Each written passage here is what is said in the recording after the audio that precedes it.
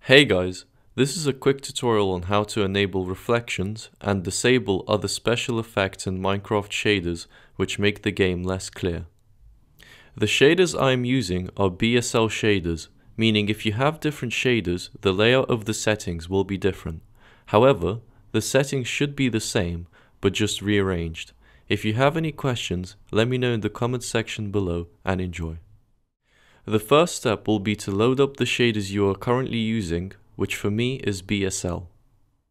The shaders can be found in Options, Video Settings, Shaders, then select BSL.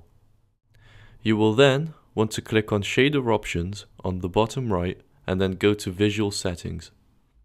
Next, click on Advanced Materials to enable them. Then click on Advanced Material Config on the right. Then click on Rain Reflections to enable them. Then go back once, go to Post-Process Settings, and turn off Bloom and Vignette and change the anti-aliasing to TAA.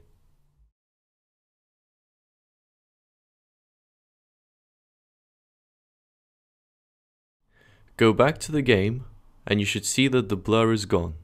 And that's it. Thanks for watching.